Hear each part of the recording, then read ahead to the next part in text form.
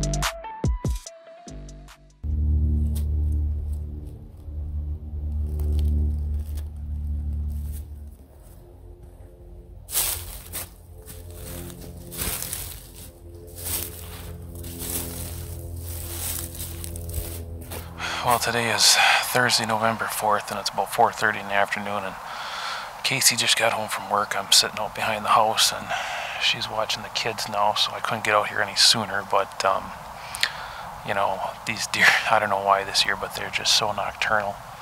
They don't move till last light or, you know, after dark, but it's November. Anything can happen. I have a perfect wind tonight. You want to sit this stand on either a straight west or southwest wind, and I got a southwest wind that blows me kind of right back up here towards the house. And uh, it's warm out. It's not, you know, ideal hunting conditions, but it's November 4th. Anything can happen. I just need a a hot doe that the bucks are interested in to come in here and have a nice buck following her. And I got two bucks back here. I got I'd shoot. There's a real, real heavy, tall um, brow tine 10 pointer I mean, he's number one on the hit list, and have had zero daylight, anything of him. And then he was right down here on the mock scrape on the 28th. It was like light rain that day. Light rain that day, and it was an east northeast wind, which is the absolute best wind for a deer to get up onto this food plot and uh, you know smell everything before they even get into this area. So he had the ideal conditions that day. It was light rain, the perfect wind for him, and he was down here on this scrape, and then he walked up right to the freaking house. This was at like one o'clock in the afternoon. Five o'clock in the afternoon, he was right up there by the house in the other food plot. He hit that scrape. And then I think it was like 4.30 in the afternoon, the other buck that I'd shoot, he's a big white eight pointer. He was right here on this other mock scrape in front of me. So both shooter bucks were in here in the daylight that day and they hit all three scrapes that I got. So let's just hope one of them shows up tonight and I can get a get an arrow in one and uh, complete my 2021 Wisconsin bow season. It's been a rough one, but I'm not giving up.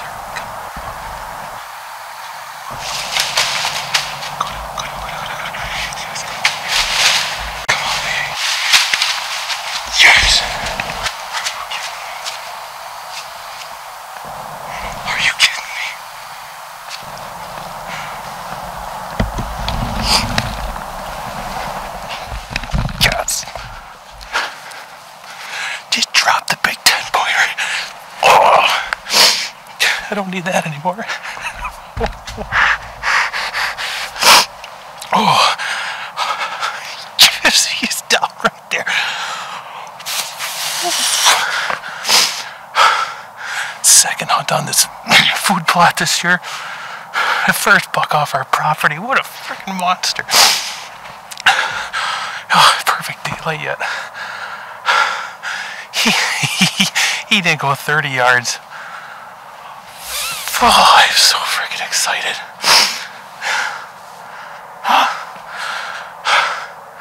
What a season. and it all came together right here on my food plot. He's down right there. Oh, this is perfect. Yes! wonder how much shot I got on video, but I don't care. He is he's done.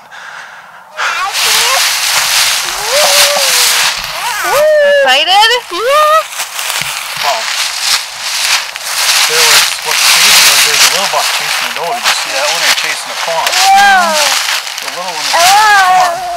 So The uh, came right to the pond. let's go find it. I hope you enjoy it. The fawn came right to the pond, and then he went and nudged that other little buck off. I hope you enjoy it. It's pretty cool. Go this way. vai, enfim, sei lá.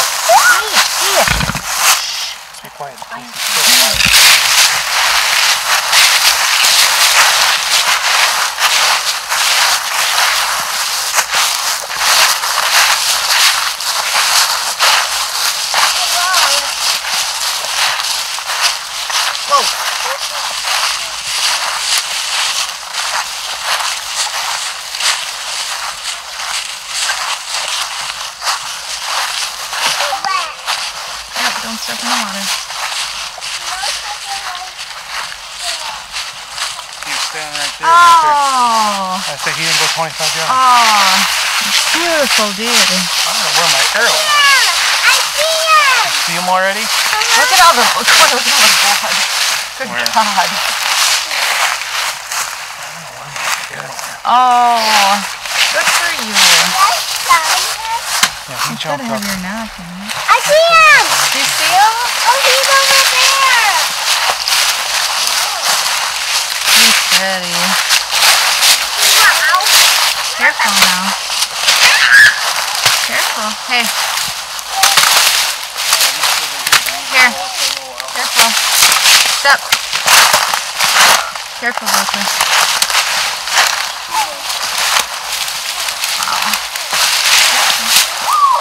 Look at that. Nice bark. 11 pointer. Come over here, Blakely. No. Thick. Massive. What a beautiful deer. He's not wide, but he's got everything else. He's got Look at his bladed oh, they're brows. huge. Perfect shot. I mean, you couldn't have got any, No. couldn't have drilled him any better than that. What's that? You have stick tights everywhere. Is that Daddy's big buck? buck. You don't like daddy's buck, why not? Huh? stick tights all over him. Daddy, I like him. You don't come sit by him? No. Go in there, my dad. That's not him. That's a big one, isn't it? Yeah.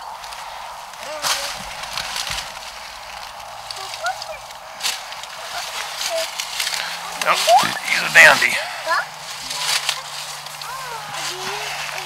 Well, here he is. We're getting a little better video of them. Uh, this is a pretty cool hunt just because I shot him right behind our house here on our five acres and plenty of daylight left. The kids got to come out and do the track job and uh, they had fun and I just, I can't believe I finally got a buck this year. It's been a, it's been a tough season. I've been, you know, I always hunt public land and that's what I've been hunting as usual and um, Casey tagged out so the food plot back here was all to myself for the rest of the season and we've just been so busy with work and everything. I never even got a chance to hunt back here. I came back here once and tried to kill a doe and never saw a deer. So today was only the second day that this food plot and our property has ever been hunted. And that's, you know, probably one of the keys to success here is we only have five acres and you gotta, you gotta hunt it when the uh, time is right and not overpressure it. And that's kind of been what we, what we've been doing the last few years. We only hunt it maybe once in uh, September, once or twice, just to try and fill a doe tag, and then we leave it alone and watch our pictures until we start getting decent bucks on camera and uh, showing up in daylight. And Casey last year, she sat here about this same time and seen our biggest shooter buck, but couldn't get a shot at him. And uh, I, this was our biggest shooter buck this year, and I pulled it off. And like I set up in the tree stand before, uh, weather conditions weren't great today. It's kind of warm out, but I had a perfect wind uh, I need a, a west or a southwest wind, and that's exactly what I had. And with the warmer temps, I said, I'm going to need some sort of a hot doe to bring a bring a buck in. Hopefully that was this one, and that's exactly what happened. He come, he actually come right down our four-wheeler trail from up by the house and was coming around on the four-wheeler trail, and the little buck come up here chasing. It looked like a fawn. It wasn't. It was a doe. It wasn't very big, and uh, this guy went over there and nudged the other little buck off, and that fawn came right down to the pond, and that was another. That pond was a great uh, addition this year. That really brought the deer in and kept them around because there's no water around here for quite a ways. So that pond was a big help. Fawn came down here, got on the pond, pond, and you know it was a great little decoy there for me. And he come right down through the food plot here and stuck him at 20 yards, and he didn't go another 25 yards. So just a great hunt. I I'm glad I got my Wisconsin tag filled. That that's less stress on me now, and I can head down to Iowa next uh, Tuesday night. I'm leaving. I got 10, 12 days down there to hunt, and we'll see if I can't get an Iowa buck.